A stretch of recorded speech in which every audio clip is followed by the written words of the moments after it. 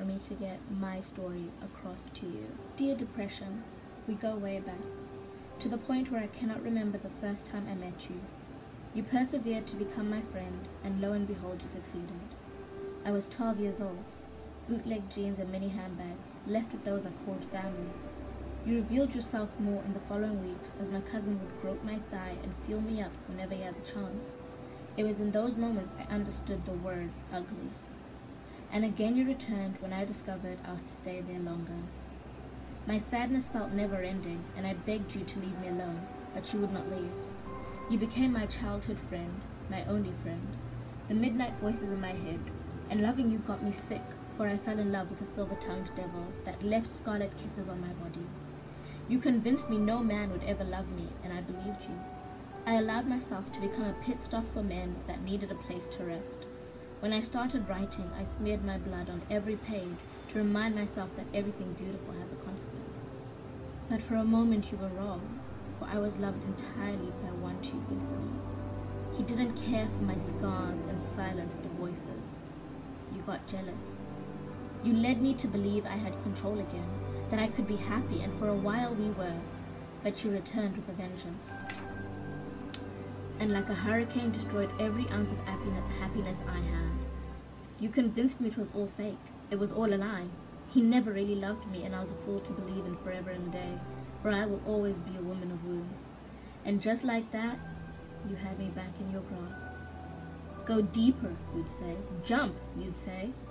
Find the nearest ledge and simply let go.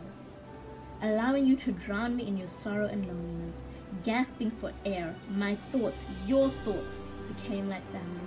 Fussing over the, all the wrong I had done, the pretty I shall never be, and the love I will never possess. But you are a sickness, and sickness can lie. For everything I know of sadness I learned from you. For I am afraid to die, and I stare you, depression, in the face and tell you, you cannot have me. I dare myself to run, screaming with arms wide open to joy. You cannot have me. I am not my past. I am worthy of love and I am forgiving myself for not being strong enough to believe in myself. The number of men I let crawl into my body, but I'd rather tell you that I am letting go. Of the hurt, the lies, and most importantly, the past. I am letting failure go. I am letting loneliness go. I will not give up in this fight and you will not silence me. And to the boy I loved oh so dearly, you are a beautiful sunrise after a stormy night. You are the refreshing drops of rain after a drought.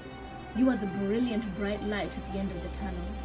When I tell you that loving you made me forget how much I hated myself, I was not joking. Loving you was taking all the love I could never give myself and putting it to good use. It was a reminder that if someone could kiss the scars and wake up smiling next to me, then I can try to breathe again. Your love was the guardrail on the edge, the drawers that hid all the sharp objects. But love did not heal me. It did not wipe my slate of a body clean, for I will always have these scars and melted skin. But love held my hand, taught me a joke that I stayed alive long enough to laugh at. I loved you enough to want to love me too. Sincerely,